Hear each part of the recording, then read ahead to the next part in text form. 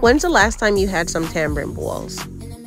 These little treats are so simple and easy to make. All you need is some tamarind or tamarind as Jamaicans pronounce it and some sugar.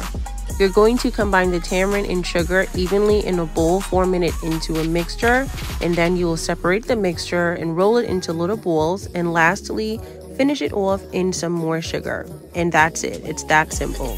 Enjoy.